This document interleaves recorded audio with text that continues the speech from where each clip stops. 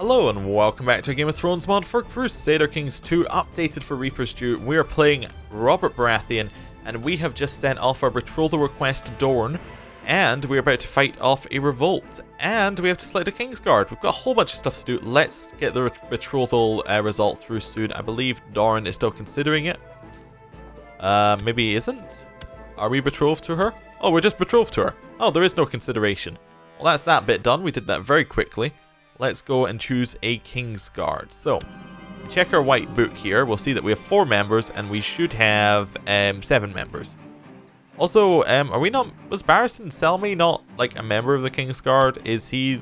Did I miss this bit? Because he seems to be rather, like, missing. Or dead. Or am I mixing up timelines because we started earlier? Probably mixing up timelines. Let's see. Uh, Selmy. Uh, Selmy. I don't see any Barristan at all existing. Okay. Uh, am I crazy? Or does he... Oh, there we go. Barristan, Barristan the Bold. He died. Okay. He was executed by Aerys Targaryen. There you go. That's what happened to Sir Barristan.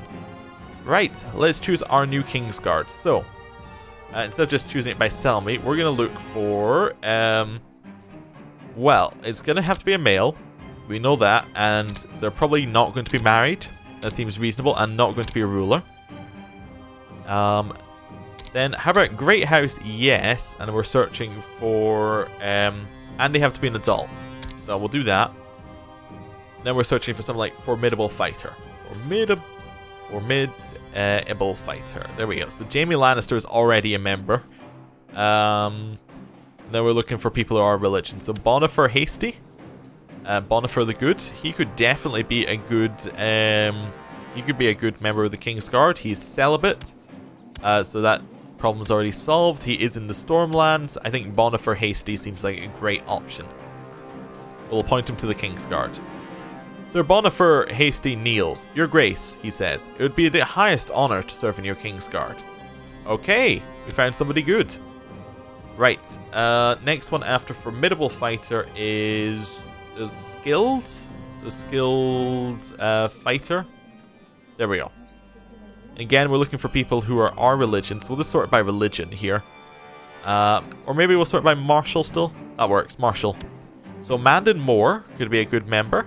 Skilled um, is a Veilman, so that seems like an alright option. He is probably in line to something though. He's second in line. He might say yes. Point him to the King's Guard. Sir Mandon Moore kneels. Your Grace, it would be the highest honour to serve in your King's Guard. Sir Mandon's father, Lord John Moore, looks on his pride as the newest Knight of your King's Guard swore his vows. Oh, good. Um, Parman Crane, he is Reachman. I probably want to avoid putting Reachman in there, even if he's good. Willem Darry is already a member of our King's Guard. Lyn Corbray, he has Lady Forlorn. Uh, is he in line to... He's second in line. He has a Valyrian steel sword. He is Craven, however. That's going to be a pro... I don't think we want a Craven person in our Kingsguard. Prince Harry of the Golden Company. Um, probably not. His parent was Randall Strickland, uh, Captain General of the Golden Company. Are th are they called princes in the Golden Company? I don't know. Anyway, um, Rodrik Cassel could be a good option. Um, it's he is probably in line to uh, King's Course. He's third in line. Rodrik Cassel doesn't seem like a bad option. We will uh, appoint him to the King's Guard. Your Grace, it would be the highest honour to serve in your King's Guard. Okay, good. We just got three people straight away. Check our white book. We have one, two, three, four, five, six, seven. Good. Uh, perfect. Uh, we have an open council position for a septon, but we don't have enough money to pay for a new courtier. Um, yeah. Let's see if we can go and beat this rebellion down. So, um, how many men do the Vale have? 36,000. You know what? That'll probably be enough. We're probably not going to lead it. We'll put um, we'll put Eddard in charge. Uh, although he doesn't lead, he isn't doesn't have inspiring leaders. Probably not in the center. Uh, we don't appear to have an inspiring leader who's very high up. We'll put Eddard, Stannis, and uh, probably not the leader of our um, like our Gold Cloaks, our commander of uh, King's Landing. How about Gilbert Farring? He seems reasonable. Right, there we go. And then we'll just wait a little bit till our morale comes up and then we'll go fight it. Uh, my courtier, Sir Gawain Wilds, expressed a desire to get married. Oh, you already, I was thinking, didn't we already have this event? Yes, he did marry, and she's already dead. Uh, died of poor health. Well, I guess marry again if you want. Alice. Okay.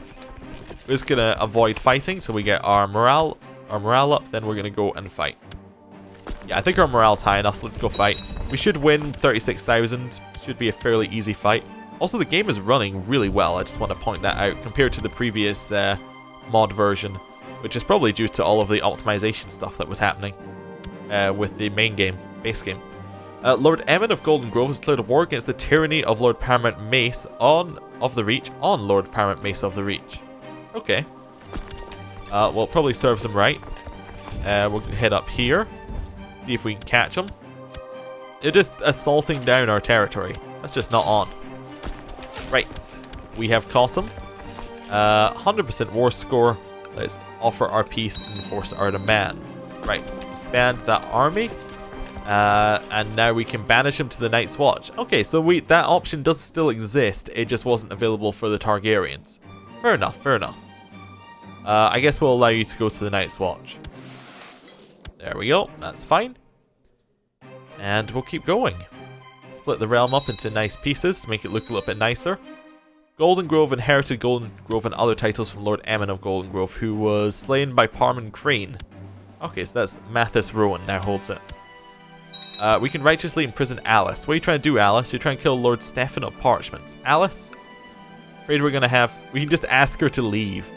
I like this. You're not sure when Alice joined your court or what she's doing here, but if you were to ask Alice to leave, the court would feel less crowded.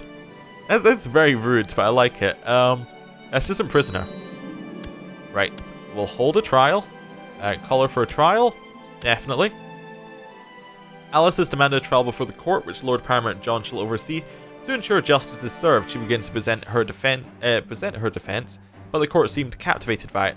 Even I am almost convinced. Strutting back and forth, Lord Paramount John masterfully questioned the accused using every superlative available in the common tongue. He captivated the court, ripping through the accused's defense and showing them to be a liar. A verdict has been reached. Lord Paramount John proclaims Alice is guilty. So you can make her a silent sister. I can say I'll be the better person release her. She'll walk through the streets naked and back to her cell, or have her head on a spike. Um. Well, yeah, I don't know what we want to do. Probably um, head on a spike would be my guess. Um, except that we have some more options. Uh, so we can hang her, we can behead her, we can have her hung, drawn, and quartered. What are other options? More? Okay, I guess we don't have other options. I guess we'll just have her hanged. Um, Your Grace, I, Sir Ambrose, sincerely ask to be allowed to pursue a career as Septon of the Faith of the Seven so I can fully dictate, uh, dedicate myself to studying the seven-pointed star and worshipping the gods. So it's Ambrose Darry. Um, Ambrose Darry is first in line to Willem Darry's uh, place. Would he be happy with this? I assume he's already fine with this. We'll give him the gold and he can go and do it if he wants to do it. Right. Um, we have enough to get a septon now. Do we have one in our court already? Nope. Let's go and get ourselves a septon. We'll employ a new courtier. A holy man. Stannis has arrived at your court. Septon Stannis. Okay, excellent. Um, we will get a septon in here. And now we can give everyone jobs. Let's see what we want to do. So probably um, Oversea Province seems like the right one for our Hand of the King currently. Master of Laws, probably going to improve relations. We'll look at that later. Train troops or train children. I probably want train children. Well, we'll see. Uh, we don't really have any children at our court because our brother's in a different court currently. Um, yeah, we probably just want them to train troops. That seems fine. Or suppress revolts. Uh, train troops, probably. Master of Coin, collect taxes. Master of Whispers can you Scheme. And then our Septon will be performing charity. Okay, cool. Now we can select um, a Crown Focus. And this means that it may receive special events and it's more likely to prosper. That seems good. We'll select King's Landing as our focus. Is there anything we can see on... Oh, right. There we go. Crown focus. We can see it on there. Can we see what other people's focus is? um, your focuses are like if you do you have like a focus on Gaston Grey? Uh, yes, yes, we can. We can see that he has a crown focus on. That's useful to know. Very useful to know. Right. Um, anything else we want to do? Oh yes, we want to check who we wanted to improve relations with. So we'll do that. So let's see who's underneath us here um, and who doesn't like us. I think it's probably going to be Dorne we want to improve relations with because um, we are getting that alliance with them or at least we're getting that uh, we're getting that security of being married to uh, their heir, so maybe improving relations with them seems sensible. Either that or improving relations with the Reach because they have a larger army. Maybe we'll we'll say that we did the um, we've done a betrothal to get our our um, get Dorne's opinion of us up, and we're gonna just try and improve relations with Reach through diplomatic means. That seems fair.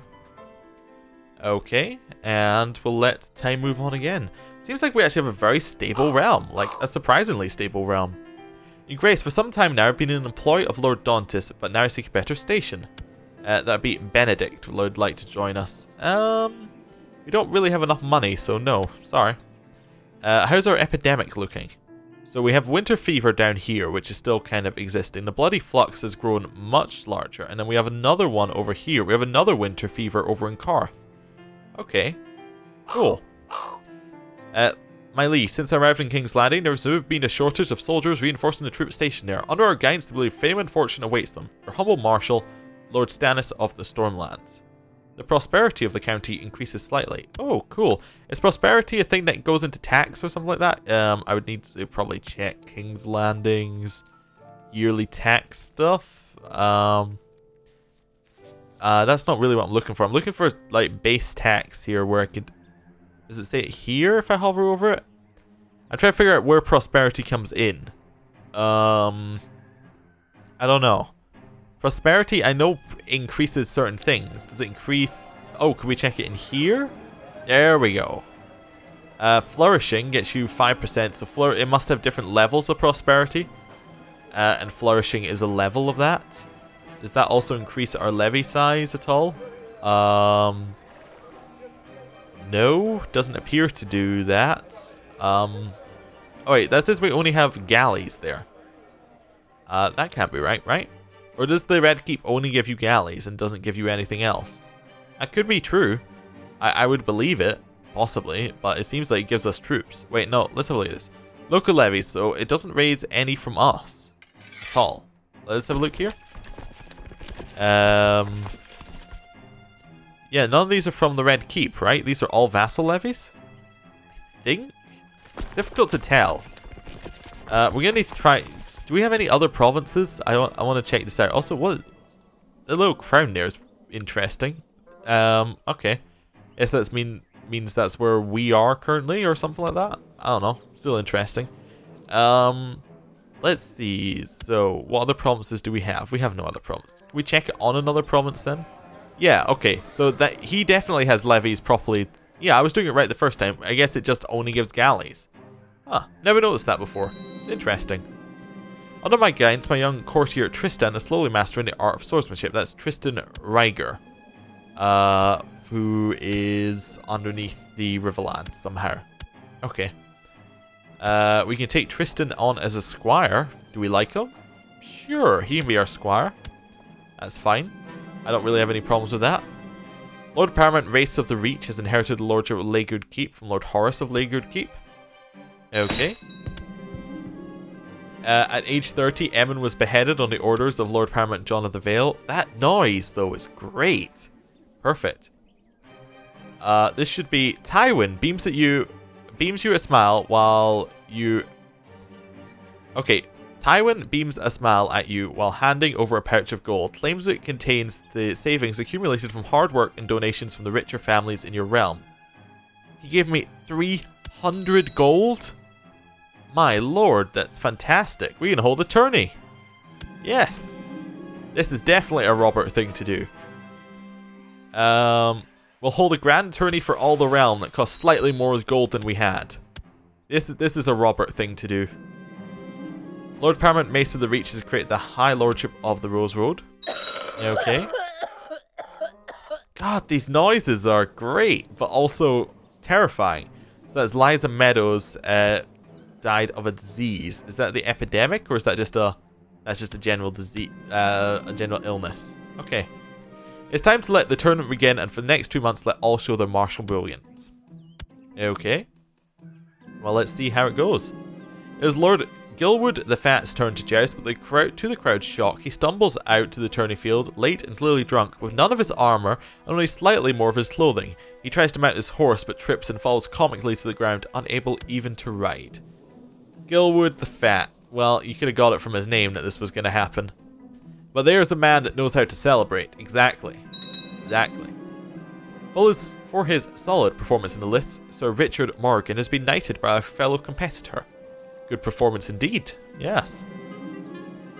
Uh, Lord Paramount John of the Vale used a favour on Lord Paramount Quellon of the Iron Isles to force them to join their factions, that Crown Loyalists. Yeah. Okay, we have quite a good Crown Loyalist faction. My young courtier has finished his education in the intrigues of the court. It turned out less well than expected. He's an amateurist plotter. He's really, really bad at most things, really. Okay. It's Sir Ryman Frey's turned to joust, and he was also drunk. Um, and he also knows how to party, obviously. Oh yeah, we should probably find someone for Stannis to marry, although he's probably beat me to it. Yes, he has. He's to marry uh, Marjorie. He's already married. Marjorie Orme. We weren't even invited to the uh, wedding. That's awful. So that's uh, someone from the Reach. Yeah. The first days of jousting is complete, with many lesser riders having already been eliminated from the competition. Now over the coming days, the remaining men shall compete in the final lists, tilting until only one champion remains. So, we can say there are fine jousters, all of them, or we can only watch uh, the last couple. Now let's see who's still in it. Uh, we might notice um, Tygett Lannister, Jaime Lannister, um, Howland Reed, Jason Mallister, um, Petyr Baelish is in this, Balon Swan. Um, yeah, there's a whole bunch of people recognize. Our Lord Commander of the King's Guard. Your Grace, I approve Lord Liddon, one of the participants in the tourney, is cheating. The rivalry between Lord Titus and the supposed cheater is well known, but I can't imagine Lord Titus would lie about something this serious. So, um, Lord Brynden Blackfish, um, you say he's cheating. Okay. Uh, I find this unlikely, though. Hmm. So I can say, imprison the cheater, have him disqualified, or I need more proof than your words. Yeah, I need more proof than your words, definitely. Definitely. Doran Martell imprisoned um, Ulrich Dayne. Summer is nearly at an end, and the harvest is upon us. The feasting shall celebrate this time with food from throughout the Iron Throne, including boar, gooseberry, salmon, and lobster, brought to King's Landing. As part of this, you must decide how much of the harvest is set aside for the winter. Um, you know, just, uh, well, we can skimp on it a little bit. Uh, I made sure the beautiful Felice would be my dinner partner, and during the feast I kept refilling both of our wine glasses. My charm and winning smiles made it impossible for her to stay unresponsive, and it didn't take long until she looked at me with more than interest in her eyes. So that's Felice Pyle, um, married to Lord Denley Thorne. Um, you know what? I'd like to show you the castle, especially my bedchamber. I took Lady Felice on a quick tour of the castle. We ended up in my bedchamber. I kissed her, and Felice kissed me back and we ended up on the bed. A night to remember. Well, let's see if the event happened. It did not. Everyone was enjoying a fine display of jousting when Sir Mark Ryswell and Sir Balon Swan were paired up. In the last tilt, Sir Mark did not fare well as Sir Balin's lance found a gap in the armour, gruesomely impaling him. With him in the dirt in a pool of blood, it was clear he would die. So that is Mark Ryswell dying, and Balon Swan did it. Okay, and he's about to marry a Jonquil Karen, interestingly. Uh, most unfortunate. Gerion Lannister has, has used his attendance of the Feast of King's Landing to present a petition for justice before the court. He claims that Jaime Lannister sullied his honour by having illicit relations with his wife behind his back, demands recompense for the slight. Okay, let, let, us just uh, set the scene. Gerion Lannister, married to Cersei Lannister, is unhappy that Jaime Lannister was also sleeping with Cersei. But they're all Lannisters, and this seems ridiculous. Um, well, uh, I, I don't know which one of these we're going to go. We could say that Jaime must be arrested, but that's obviously going to annoy the Westlands, and that seems like something we would want to avoid doing. Jaime is clearly not guilty of these accusations, would be something we could say, or we can say just pay the recompense. Um, we'll say he's not guilty of these accusations. We'll stand up for him. Because he is in our King's Guard and we want to keep its uh, reputation up. And another person came to present justice before the court. He claims that raiders under the control of Lord Tristan um, have been raiding and looting his lands and demands recompense for the molestation of his domain. Well, of course, we're going to ask the Iron Islanders to pay the recompense, though. Yeah. Right. Your Grace, I approve that Lord Samwell, one of the participants in the tourney, is cheating. The rivalry between Lord Randyll and the supposed cheater is well known, but I can't imagine Lord Randyll would lie about something this serious. As Randyll Tarly is uh, saying that Lord Samwell um, Withers is cheating. Okay, so they're both Reachmen. Um, we like Randyll Tarly slightly more, I think. Yeah. We can say imprison the cheater, we can have him disqualified, or we can say I need more proof. We'll have him disqualified. There we go. Sir Balin Swan and Sir Ar and Dennis Aaron were next to Jason list. After many tilts and broken lances, Sir Dennis was eventually on horse, leaving Sir Balin to be declared the winner. Well done him. For his solid performance in the list, Sir Ulrich Borrell has been knighted by a fellow competitor. A good performance indeed. After many tilts over several days, only two knights remained undefeated. Lord Commander Allen and Sir Balin Swan faced each other in the final joust. After many tilts of finally executed jousting, Sir Balin was eventually unhorsed, leaving Lord Commander Allen to be declared the winner of the tourney. The head of our Kingsguard won the tourney, that is a worthy champion. Fantastic. As victor of my tourney, Lord Commander Allen has the honour of choosing the Queen of Love and Beauty, so he's decided to name Matrice as his queen. A good choice, I guess? Um, the war against the tyranny of Lord Paramount Mason reaches ended in white peace. Uh, okay. Interesting. The tourney is now over. It's time to bask in the glory. Everybody liked it. Fantastic. And I think we're going to end the episode here. Thank you for watching. I'll see you next time. Goodbye.